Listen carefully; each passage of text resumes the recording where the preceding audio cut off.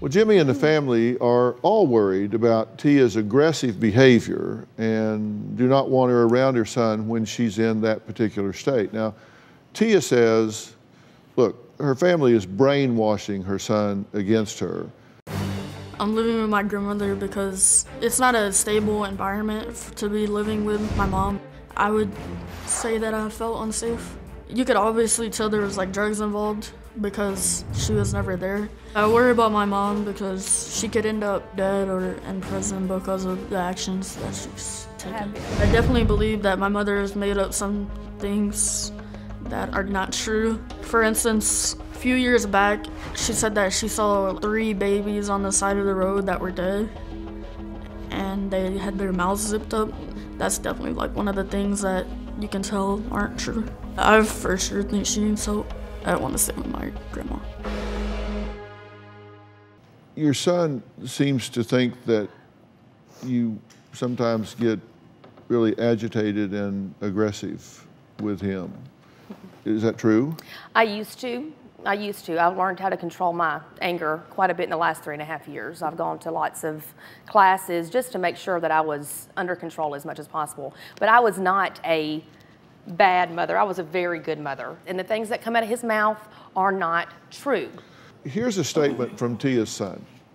He says, and I quote, I feel like my mom is not in her right mind. You can definitely tell there are some mental issues. I tried to see her a couple of weeks ago. I felt like there were some drugs involved with her actions. She was acting very aggressive towards me. She would be yelling at the top of her lungs. I can't believe you did this to me.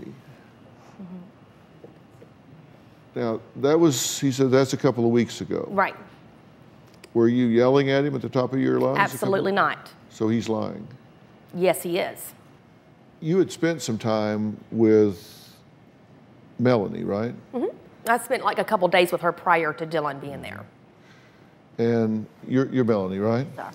What happened on August 18th? She made the comment that she had no hope left. And she said that she wanted to kill her daddy, her mama, Donna, Aisha, and herself. So I made the executive decision to go to the magistrate in North Carolina and do involuntary commitment. And she was taken to a facility. She started talking about killing her entire family. Yes, sir.